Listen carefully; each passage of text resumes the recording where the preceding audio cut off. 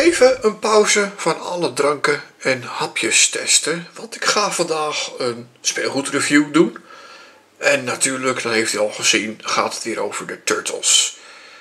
Eh, de Turtles alleen, plus andere figuren, ja, is niet het enige wat ze uit hebben gebracht, wat Playmates uit heeft gebracht. Het zijn nog veel meer.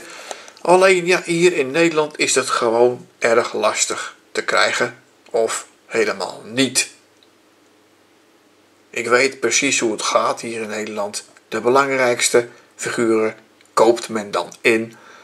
En de rest ziet men wel of men eventueel nog kan verkopen. Ja, het is een heel verhaal, maar ik zal het kort houden.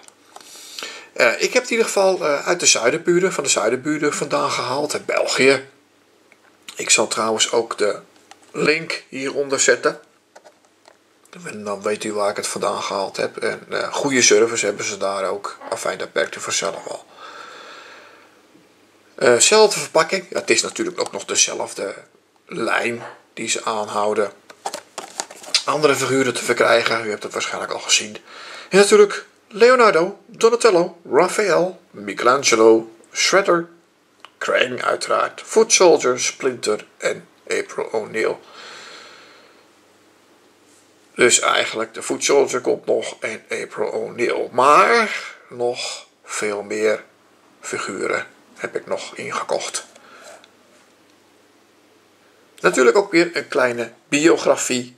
En je kan de kaart ook uitknippen, eventueel als je zin hebt. En netjes bij je andere collectie stoppen. En je kan ze ook bezoeken www.playmatestoys.com of www.nick.com slash tmnt. En dat is het eigenlijk. Nog een kleine waarschuwing, want er zitten ook nog kleine onderdeeltjes tussen of in. Ik ga deze verpakking fijn openmaken en dan uh, laat ik het figuurtje zien. Tot zo. Groot applaus voor Playmates. Zij weten hoe ze speelgoed moeten maken, maar ook vooral hoe ze het in moeten pakken. Geen bindertjes, dus erg makkelijk uit de verpakking te halen. Echt bravo. Goed, we gaan gewoon weer verder. Uh, Krang wordt geleverd met twee wapens. In dit geval pistolen of iets dergelijks, laserpistolen. Dat is één. Verschillende trouwens ook. Eén. En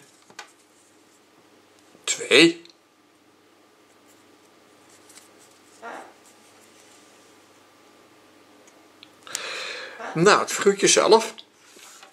Ja, hier is hij dan. Uh, erg ielig gebouwd. Uh, dat zijn we eigenlijk niet gewend als je naar de klassieke tekenfilm gaat kijken. Dan is het nogal uh, een beetje een forse kerel, zeg maar, die robot. Ja, dit is een beetje een soort van kopie van Terminator. Maar dan net even anders. Een beetje huis, tuin en keuken. Terminator. Alsof hij dat zelf in elkaar gezet heeft. Dat zal waarschijnlijk ook wel. Ik heb de tekenfilm nog steeds niet gezien. Ik weet ook niet of ik hem moet zien. Ik hoor er weinig geluiden over of eigenlijk of het nou leuk is of niet.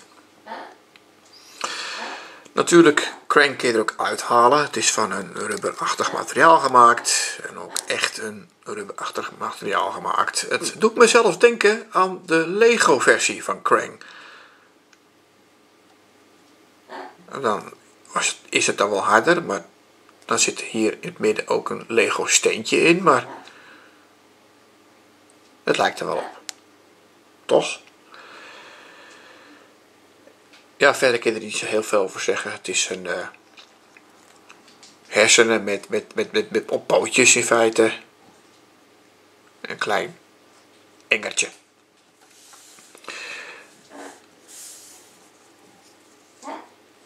Zo'n robot dan is ja, niet veel aan de hand in feite. En ik zeg ook echt niet veel aan de hand. Want ja, het is alleen maar grijs met hier en daar een rood streepje en een roze streepje. En dan heb je het wel gehad. Al is de vorm wel erg interessant, dat wel. Je zou zeggen, ja, je zou het zo kunnen breken, maar uh, Playmates kennende, nee, het is toch wel stevig. Al moet je er toch wel mee oppassen. Kan het bewegen? Ja, het kan zeker ook bewegen. Zijn hoofdje kan links of naar rechts, naar links en omhoog zelfs ook nog. En naar beneden. Armpjes kunnen uit en omhoog en naar beneden en ook nog naar zij en uit door een balgewrichtje zeg maar. Andere kant natuurlijk ook. Alleen de elleboogjes die, uh, die zitten vast. Hetzelfde ook met zijn beentjes. Daar zit helaas geen uh, balgewrichtje in. Alleen maar, ja, het kan alleen maar schuiven. Dat is het enige.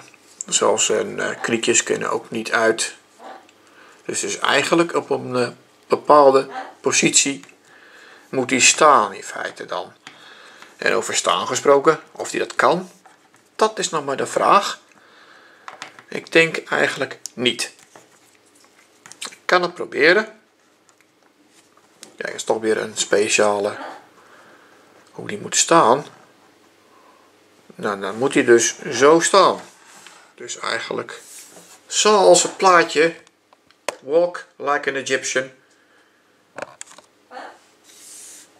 Ja, je kan het leuk vinden of niet. Nou, voor de rest is er wat mij betreft weinig mis mee. Maar ja, echt een toppertje qua figuur is het niet. Al is het wel leuk gedaan. Dat moet ik wel zeggen.